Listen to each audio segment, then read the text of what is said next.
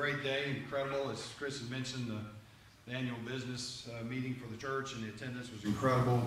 Um, well done, body. Uh, so, without further ado, we'll jump into this. We have five baptisms. Um, they uh, are coming to this to give their public testimony and their uh, faith in Jesus Christ as their Lord and Savior. They are saved uh, already.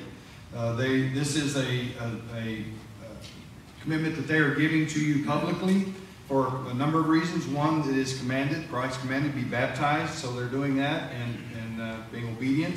But also to witness and testify to you guys that, that they, need, they, they need you to come alongside, be brothers and sisters in Christ with them. Um, help them walk this uh, journey of sanctification as a believer. And so they're asking for that and giving their public testimony in doing this. These waters aren't magical, but they do represent our, our death, burial, and resurrection in Christ. The washing of sin as, as they go under the water and then out of the water in the new life and the new heart. That's already happened, but this is represent, representation of that.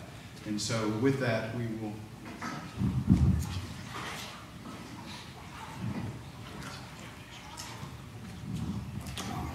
Good morning, I'm Slake Mason. Hello to my family of believers. There is no greater honor than to speak for our Lord and Savior Jesus Christ. Today we stand on hallowed ground, each of us brought to this place in God's perfect timing. The first time I came to KBC was Easter Sunday, 2022. Sharon Pollard invited me as her guest. I had no idea that what I I had no idea that what I heard that day would transform my life. Pastor Chris began to speak about Matthew 28, 1 through 10, and asked the hardest question ever posed. Are you a faithful resurrection witness? In that moment, my spirit was convicted. I faced my deepest failure. No, I had not spoken for, for the one who died for me. I wasn't consumed with guilt or paralyzed by remorse, although perhaps I could have been, could have been. But rather, I was born again, rejuvenated in knowing that I would spend the rest of my days speaking the truth about Jesus and his love for us of the sacrifice he made so I could be free from sin and death. I am not worthy, but I am washed anew. Amen.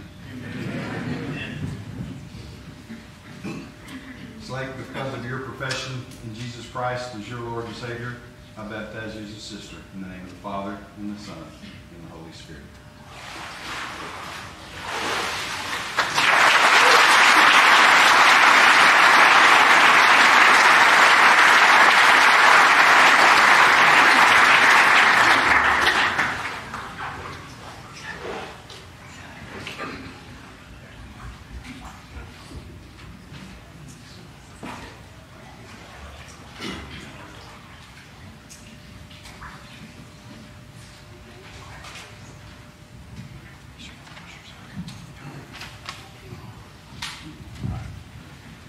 Everybody. Uh, a few out there know me, but most of y'all don't. My name is John Werckle. You can call me JP. Um, I'm here today to give my testimony in Christ. Um, as a kid, slash teenager, I knew who God was, but like many, I was rebellious. I thought I knew best. Um, by the time I went to college, I'd almost completely stopped pursuing any form of relationship with Christ. I was solely focused on my own desires. Uh, and then when I was 18 years old, uh, God gave me a wake up call. I had a uh, rollover accident when I went home from college. It uh, broke my back, punctured a lung, collapsed it, and left me paralyzed, and it killed me on the scene. And, uh, I was saved by CPR and first responders, but uh, some of the best neurosurgeons in the world told me I would never walk again. Uh, anyways, through all that, I thought that because of my first 18 years of life, I was strong and I could do anything I wanted by my own means. I thought I would make myself walk again, and I thought I would, I would heal myself. But uh, time proved that that was vain, and uh, Christmas Eve of 2013 was the first time I ever set aside my pride truly and prayed to God with an open heart. And I asked that uh, I couldn't do it myself, and I asked for Him to help me. And uh, Ten minutes later, I moved my toes for the first time in three months. And then uh, three months later, I was learning to stand again.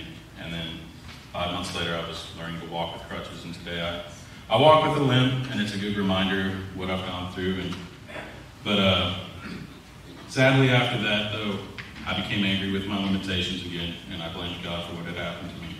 Because of my anger, I turned away, and I spent college and my immediate years after living my life, serving myself again and my own desires, and I was a pretty miserable person to be around. I wasn't fun, I can tell you that. Um, during this time, my life was consumed in sin, and deep down, I knew that the things I was doing were wrong, but uh, instead of facing those, I just numbed myself through drugs and alcohol.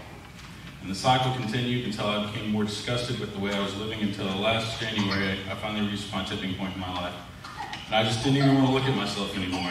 Um, I felt convicted of my sinful ways and the way I was living my life, and in my heart, I knew I needed to change. And I realized the only way that I could change and turn my life around was to pursue a relationship with Jesus Christ, though I had abandoned that eight years prior. I began again pursuing this relationship, and I put aside my own wants and desires and started asking Him to lead my life and take me where He wanted me to go. He put it on my heart to come back to church, and though it took a little while, I began regularly attending KBC this January. And uh, it didn't take long, and I knew I was supposed to become more than just a visitor. Since I turned to Christ and away from my own ways, I've quit drinking. I haven't touched drugs. I've become a better son and brother to my parents and sisters, and a more godly man a better person to be around, and now I don't hate myself when I look in the mirror. And uh, so I no longer seek to serve my own desires, but my new desire to serve Christ and continue growing my relationship with Him, and that is why I'm here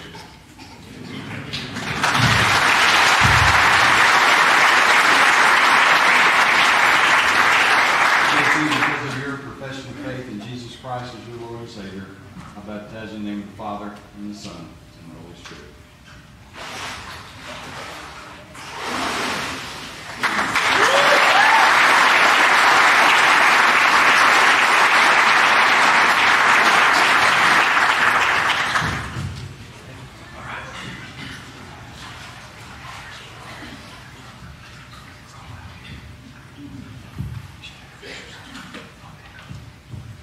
Uh, Good morning, church. My name is Eric Rivera.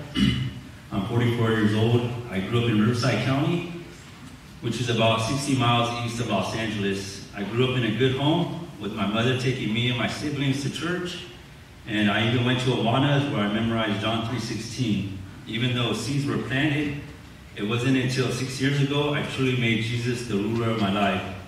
I was highly influenced by games growing up, I had the sin of drunkenness, fornication during my high school years. Afterwards, I had a 15 year drug addiction with crystal meth. It's something I had to have. I gave it my all. I devoted time, energy, money to it. All I was doing was feeding my fleshly desires. I didn't care if I hurted people while getting it. I had the mindset of helping, the mindset of either you're helping me get it or get out of my way. Uh, I brought sadness and anger to my family and friends because of my selfish behaviors. Meth brought so much evil, it made me violent with a short temper. I was committing crimes like commercial burglaries, getting in high speed chases uh, with stolen cars. I even made it to the LA News Channel 9 and 11 for stealing a police patrol unit. I've been sent to prison four uh, different times. But the worst thing of all is that I lost custody of my daughter in the family court. That hurt it the most. Thank God I have a loving family to step in and bring her into their home. After many years of rebelliousness, in 2016, I came to a point where I wanted to stop the cycle of going in and out of prison. My sister at this time told me that you're not going to see your daughter anymore because you're all jacked up. And I knew she was right. I tried very hard to stop using after she said that, just to show her and everyone I could get sober if I wanted to. But I came to realize I had no power over this demon addiction and that I was under its control. It had a grip on me and it was frightening. So on August 2016, I was driving and I cried out, uh, cried out to God with tears in my eyes, and I slammed my fist hard against the dashboard of my car and with a broken heart, I said, God, take these desires of wanting to get high. I want to know Jesus more. That day, I believed in my heart and my mind that it was only God who can transform me and make me a new person. So after praying A week later from that, on August 28, 2016, my prayers were answered. The Lord sent the police in my path to arrest me. I was arrested for the second time for the possession for sales. I had an ounce of meth in my possession. I was mad at first. I knew I was going to go away for a couple years, but I realized that it was a blessing. I was going to push the restart button in my life, and I'll get out sober. But instead of doing time behind bars, which normally happens, the court granted me the opportunity to enter a men's residential faith-based program called Teen Challenge of Riverside, where I lived for a year and a half. This started the beginning of my new life in Christ. There, I studied and memorized scriptures, which I continue to do today. There, I would print out John MacArthur, MacArthur's sermons and read them. Today, I continue to listen online. After graduating the program, I became a staff member where I worked for three years. I worked with the courts, probation officers, family members to get men into the program to have a foundation in Christ and on the Bible. I worked in the community to bring drug awareness to high schools and bring the message of the power of Christ to deliver. Since then, I became an overseer of a men's Christian accountability home called the Galatians House, which houses about 24 to 30 Christian brothers. Last year, I received my state, California state credentials as a drug and alcohol counselor. But overall, I stand before you with a clear conscience today and sincerity and honesty that I have truly repented of my sins and confessed Jesus as my Lord and Savior. 2 Corinthians 5.17, Therefore, if anyone is in Christ, the new creation has come. The old has gone. The new is here. Amen.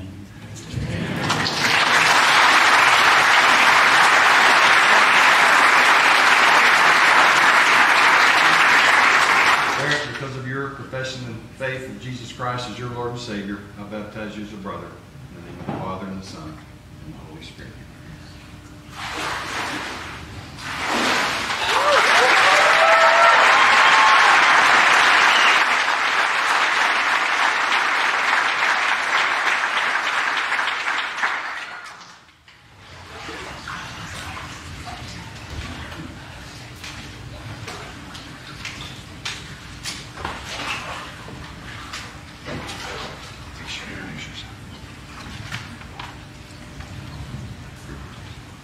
My name is Kevin Rotge. Um, since I was raised in a Bible believing family, I've always been in a church and around church going people.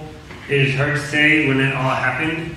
On the flip side of that, I also was, well, I also went to public school, so I was exposed to the secular side of the coin. I tried for a long time to mesh these two things together the best I could.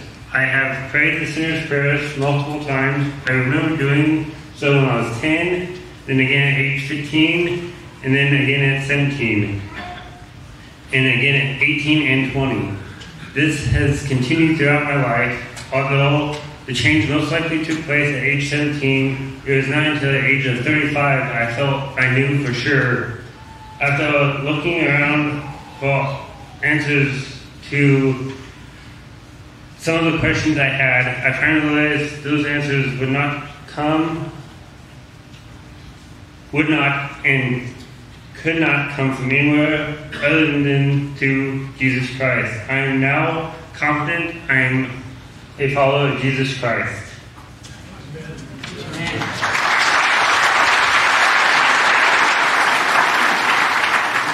Confession of faith in Jesus Christ as your Lord and Savior, I baptize you as a brother. In the name of the Father and the Son and the Holy Spirit.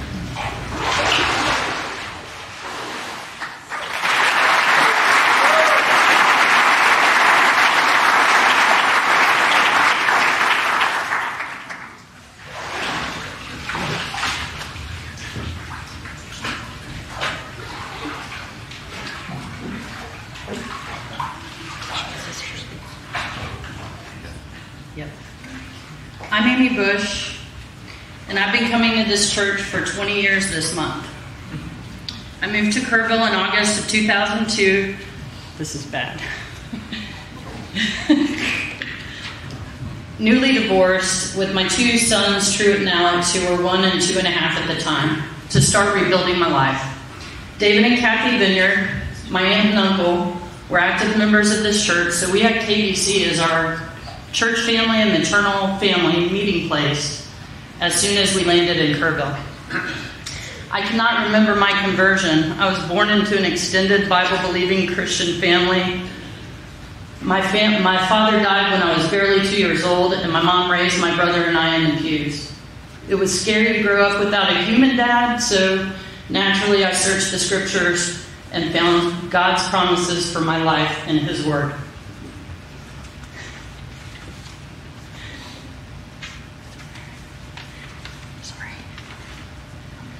In Psalms, I learned that God is a father to the fatherless, and I believe from my earliest memories that gave me an edge. And it did. Your human dad might be amazing, but mine was flawless, a, the literal epitome of love, and has never failed to show up in my life when I needed him most. Being called by the Father is a crucial tenet of our faith. Salvation doesn't happen without being called by the Father, convicted of our condition by the Holy Spirit, as who knows? broken, broken humans unable to right our wrongs apart from Jesus Christ. But we don't stop being called to action by God at salvation. That is where our relationship with God begins. As a child and persistently through my adult life, I am fearful of being called out by God. In the Bible, when God called Abraham, Jacob, Moses, Samuel, they all responded, Here I am. What guts? I lived in fear of that, this moment, not wanting the persecution that inevitably comes with following Christ. Still, I know that obedience is the only acceptable answer when God calls you out of darkness and enlists you in his army. For reference, see the Bible, it's on every page. If there is a drawback in not remembering your conversion, it may account for why I'm standing before you today. These last three years have crystallized my beliefs, have deeply matured my faith, and most of all, have convicted me of my disobedience and my reluctance to live a public and authentic relationship with God. So here's my promise to you as my eternal family in Christ. When you see me, know that I share your perspective and that everything is a spiritual battle. And I'm taking it to the Lord and doing my absolute best to follow Him. Here I am.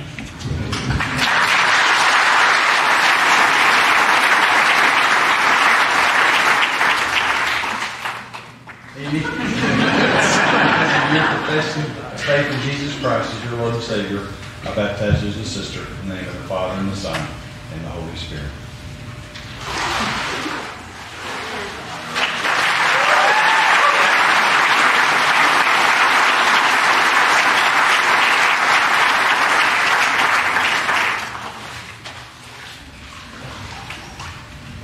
Let's pray. Father, what a wonderful time uh, we get to witness and hear these testimonies. Father, we just pray for everyone who has uh, stood here today and testified to your glory in their uh, Savior Jesus Christ, that you would, uh, from this day, give them more strength, more boldness to carry out the Great Commission, uh, spreading the word and the good news of Jesus Christ, our Lord and Savior. So, Father, we pray that you would bless our time together today to be worshipful and glorious to you.